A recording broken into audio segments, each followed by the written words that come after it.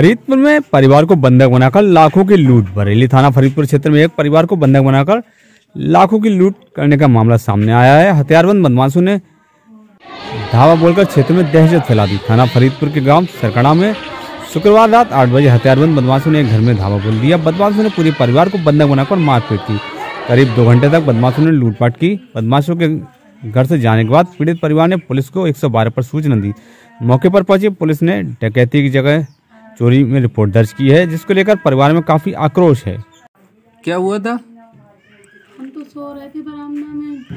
में जो सोए गए थे हमारे पति थे मामा थे अम्मा थी लल्ला थो। और देखो जब अंदर आए थे लोग तो जिन लोगों के तो हाथ पैर बंधे हुए थे। इन लोगों को बाँध के डाल दिया था क्या? हाँ बाँध के सबको कमरा में कर दो तो और फिर हम लोग जो जो जगह तो फिर हम लोगों से कहते खामोश रहिए वरना सबको मार देंगे। इनके पास कुछ असला वगैरह भी थे जो लोग घर में घुसे थे? तमंचा वमंचा सब थे छुरी उरी चाकू उकू सब थे। कितने बहुत बहुत दस बारह तो घर में थे कितनी देर तक ये लूट करते रहे? दो ढाई घंटे हम्म दो ढाई घंटा खूब उनने सब चीज़ निकाली। कितने रुपए की लूट हुई है करीब? माल थो तीन चार जोड़ी तो कुंडले थे। और देखो बकाया हमारे झाले थे और लला कोम थो हमारी कंठी थी पायलें लली की थी हमारी थी। अब तक क्या कार्रवाई की? पुलिस ने क्या कार्रवाई अब तक? अब क्या पता रात आए थे। रात ही चले गए सुबह के टाइम अब अभी तक कोई पता ही नहीं लगा तो नहीं लगा। नंदक का ले गए? नंदक सबई मिला के ले गए दो जोड़ी उनके कुंडल एक जोड़ी अम्मा के एक जोड़ी हमारे कुंडल। आए किधर से थे? दीवार में यहाँ लग रहा है। हमने देखा नहीं। हम्म। वो तो जब बाँध लिए अंदर आए तब पता लगा कि हाँ चोर है। उन लोगों को पता लग गई उन्हें बांधो लेकिन बांधत रहे हमें लोगों को ना पता लगो। हम लोग तो अंदर सो रहे थे पर्दा पड़े थे बिल्कुल दिख ही ना आ रहा तो आपका? क्या हुआ था? मैंने आए कि हमें बाँध लो हमें अरविंद को। और बाँध के दूध दूध ठाड़े लिए। कितने लोग थे? हमारे घर के हिंद तो करीब छः जने तो हमारे सामने। रहे।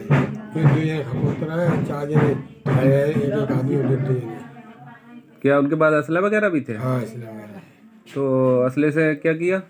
इसलिए से कहा? इसलिए से वो मतलब खपोतर है बोलिए मत बोलिए मत बोलिए मत। मारपीट भी की किसी के साथ? मारपीट मारपीट बच जाए भाई ये। क्या? ये इसलिए मारा हुआ है। क्या मारा? बट बट मारी है। काय की टुकड़ा की ना। अच्छा। कितने की करीब चोरी डकैती हुई होगी आपके यहाँ? अरे मैंने बारह बजे घुसे हैं दो बजे निकल गया। अच्छा। कितने लोग रहे होंगे करीब? तीन घर के घर पे तो सात करीब छः आदमी तो हमारे देखे ही है। सात आदमी सात में सात गेट खाई हुआ है। अरे दैया द्वारे निरे खड़े हैं। पुलिस ने कोई कार्रवाई की है अब तक? ऐसा हमें नहीं पता ये बात। मेला बता दो अरविंद गन्ना से भरी ओवरलोड ट्रैक्टर ट्राली ने बाइक को मारी टक्कर दो की मौत। बरेली थाना नवाबगंज के मुदिया तेली गाँव के लालाराम का बेटा सुनील गाँव में ही रहने वाले अपने दोस्त अजय उर्फ़ पूरा पुत्र खिमकरने लाल के साथ बाइक से बिजौरिया रेलवे स्टेशन की ओर आ जा रहे थे।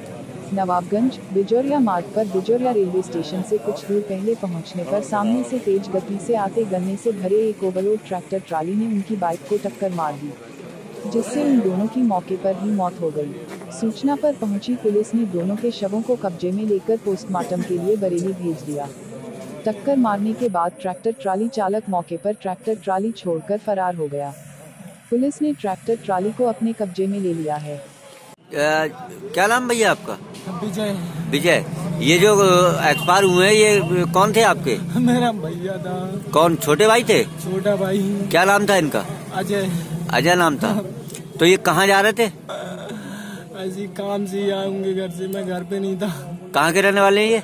मुड़िया तेली। मुड़िया तेली के। कितने लोग क्या बाइक से थे किससे थे? बाइक से थे। बाइक से थे। तो क्या कह के गए थे? घर से कुछ कह के आए थे? हम घर पे नहीं थे पता नहीं पापा से कह के आऊँगे। कोई रिश्तेदारी भी नवाब मुन्नी का? ना ना कोई रिश्तेदारी अच्छा बाइक में कितने लोग थे? तीन लोग। कौन कौन एक्सपायर हुआ? मेरा भाई और एक गाँव का लड़का वो भी है। अच्छा। एक गाँव के लड़के हैं वो भी हैं? हाँ, और तीसरे? तीसरे लड़के के, पता नहीं वो अस्पताल में शायद बहेड़ी ग्राम मलकपुर में सपा नेता व संभावित प्रत्याशी नसीम अहमद ने एक जनसभा को संबोधित करते हुए कहा कि इस बार भाजपा का सफाया होगा। समाजवादी पार्टी के राष्ट्रीय अध्यक्ष अखिलेश यादव के प्रति जनता में उत्साह, विश्वास और जोश का जो जज्बा दिखा है, वह अभूतपूर्व है। भाजपा की गलत नीतियों से परेशान किसान, नौजवान, मजदूर, महिलाएँ, अगड़े, पिछड़े, दलित, अल्पसंख्यक सभी वर्ग श्री अखिलेश यादव के साथ खड़े हो गए हैं। भाजपा की कारगुजारी को उजागर करने के लिए ग्राम मलकपुर की जनसभा में हर वर्ग के लोग शामिल हुए। जनसभा में ज़बरदस्त उत्साह रहा। सपा नेता नसीम अहमद ने कहा कि अगर जनता ने इसी उत्साह के साथ वोट कर दिया तो भाजपा की ऐतिहासिक हार होगी। यहाँ की क्या समस्याएँ, आपकी क्या तमाम ग्रामीणों से बात हुई? देखिए, सभी लोग यहाँ पे जो ये गाँव है, जो है पिछड़ा गाँव है, क्यों कि यहाँ के लोग जो है सबसे ज़्यादा जो बेरोजगारी, हिंदुस्तान में वैसे भी बेरोजगारी टॉप पे चल रही थी, उस उसी के क्रम में ये गाँव भी अछूता नहीं रहा। यहाँ के बच्चे पढ़ने के बाद आज बेरोजगार घूम रहे हैं। उनको कोई सरकारी नौकरी नहीं, प्राइवेट नौकरी तक नहीं मिल पा रही है और सरकार पूरी तरीके से जो प्राइवेटाइजेशन कर रही है और हर विभाग को जैसे बेचने का काम कर रही है। सेल है, बेल है बी है और देश के एयरपोर्ट हैं और अच्छे अच्छे रूट हैं रेलवे के। तो उसका शिकार यहाँ के गाँव के लोगों को भी होना पड़ रहा है और बेरोजगार घूम रहे हैं।